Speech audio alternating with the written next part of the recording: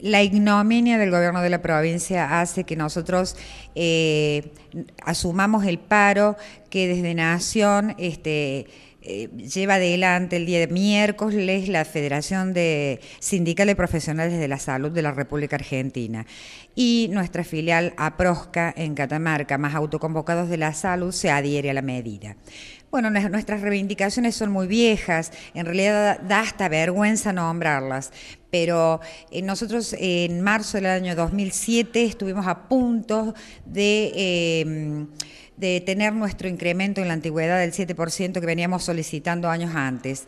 Eh, ya tenemos el consentimiento del ministro de Hacienda y bueno, y hubo factores que creo que fueron solamente el ex ministro de Salud con su resentimiento y bronca, eh, los que hicieron que no, no, no se pudiera concretar. Hoy, lógicamente, eh, lo exigimos ese aumento en la antigüedad para poder estar a la par del resto de los trabajadores.